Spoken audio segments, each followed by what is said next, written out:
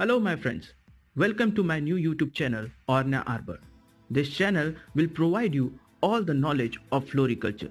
This channel's objective is to clear all the concept regarding floriculture that is from basic to advanced level. So this is Ashish and I am tried to give my 100%. So let's start from the introduction. In the introduction, we cover up the basic definition of floriculture.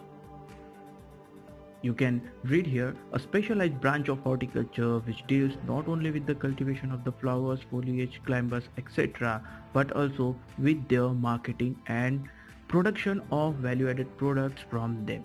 It means this branch comes under the horticulture. Here we go to acquire the knowledge such as how to cultivate the flowers commercially as well as non-commercially. Then how to take care of all the ornamentals like foliage, climbers, trees, cactus, etc. But here that all the things not has been done yet. After this, we should know the marketing knowledge and how the value added products we can make or produce. Here I put it down the second definition also. Next, what are the branches? There is three important branches. First, floriculture and landscaping, second floriculture and landscape architecture and last one is floriculture and landscape gardening. But we should know the difference in between what is landscaping, what is actually the landscape architecture and what is landscape gardening. Landscaping is a broad and general term. Landscape architecture and landscape gardening we can say comes under the landscaping. In landscaping, we just make a design and with the help of that design we alter the land portion with the help of different planting materials. But if we're thinking about the landscape architecture where the architectural mind used to make social or professional areas beautiful by using different planting material. And in landscape gardening means we are making a simple garden that is the decorative garden at our home. That's it from this slide, we are going to understand basic terminologies mostly used in floriculture. You can read here the first term that is garden. This word originated from the Latin term giardin and meaning is enclosed and near to the nature. But what is actually the garden? We are going to grow up the flowering plants or other plants which look beautiful the piece of the land near the home, near the offices, near the ground that is called garden. The next, ornamentals. A wide variety of the plants are grown and harvested for their ornamental values, includes flowering plants, blah blah blah. But we should know, we should understand the ornamentals. What is actually the ornamental plants? First important use of that particular plant is decorative purpose we cannot say apple is an ornamental plant. Basically, it is a fruit crop. Therefore, ornamental plants main basic terms of that particular plants which is improve the aesthetic value of the garden and the things we are getting from that plants we can use for the value addition here you can see that gymnosperm um, picture in that gymnosperm. We can colorize that gymnosperm. We can use for the aesthetic value. We can put in our home. It looks very beautiful. So that is the purpose of the ornamental plants. And if that purpose will fulfill from that plant then we can say this is the ornamental plants. Next what is the traditional flowers and what is the non-traditional flowers if we are thinking about the traditional flower, it means they have some economic use. We can get the money from that flowers all over the India. And most important thing, we can cultivate as a commercial level. But non-traditional flowers we cannot cultivate at commercial level. So here is some example of the traditional flowers and non-traditional flowers. In traditional flowers that is jasmine, tuberose, then uh, your chrysanthemum, marigold. But in non-traditional flowers, there is goldenrod, celosia, gomphrena, and last one is your crossandra. In southern states, we are cultivating Crossandra at a commercial level. But we cannot say Crossandra is a traditional flower. It is grown up commercially for the economic purpose, but it is not the showing our tradition. It is not uh, cultivating from our ancestor. So that is the main difference between traditional and non-traditional flowers. Then what is cut flower and loose flower?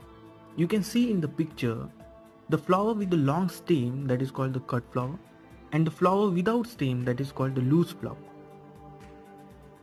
The next thing we should know about the vase life and shelf life.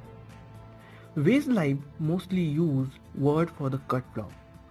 When cut stem with the flower we placed in a vase or any container and check the life or period of a time that how much days it retains or survives that is called the vase life. And for the shelf life that is same thing but for the shelf life here we place loose flower on the shelves or on the rigid surface and check how much days it retains or survives.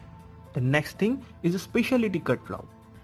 Specialty cut flowers have a short vase life and we cannot transport easily. The examples are that is Dahlia, Lisianthus, lilies, peonies, sunflowers, snapdragon, bird of paradise, etc. It is a special flower, but we cannot transport well. So here is I placed two pictures. One is Lisianthus and second is bird of paradise. Then foliage plants. Foliage plants actually leafy part of the plants. Sometimes we use that word for the leaves either individual or collective leaves. Some foliage or leaves of ornamental plants looks more and more beautiful than the flowering plants. Then vegetative growth. Vegetative growth, there is new leaves emerging or comes after germination or after propagation method. Means simply the stage after germination or propagation and before the flowering. The next is whorl. It is also called the verticils. Actually, whorls means the set of all organs. There, there is like uh, androecium, gynoecium, sepal, petals, that all complete sets of organ. But listen carefully what I'm saying. Floral whorls are classified into two whorls, that is accessory and essential. In accessory, sepals and petals which are not directly take part in sexual reproduction. Means in accessory whorls, sepals and petals comes that are not directly take part in sexual reproduction and in essential whorls there is androecium and gynoecium comes which take parts directly in sexual reproduction. Crown here you can read male and female structures are united into an elegant circular structure that looks like a crown.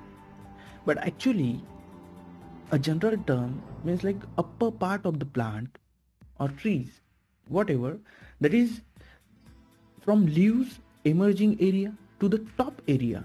It is, we can say, the crown.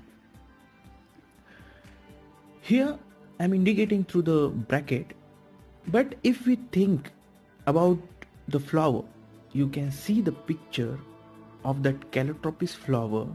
There is a male and female parts standing together.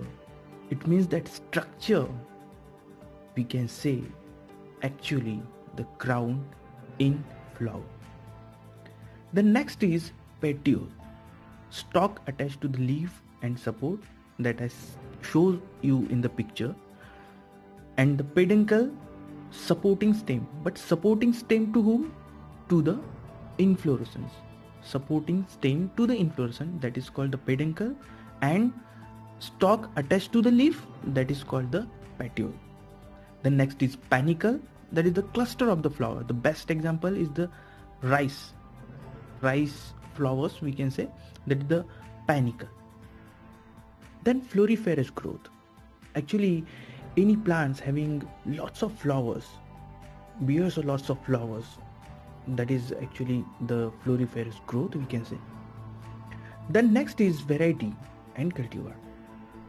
Actually variety and cultivar most of the people thinking there's the same thing but this is not the same thing.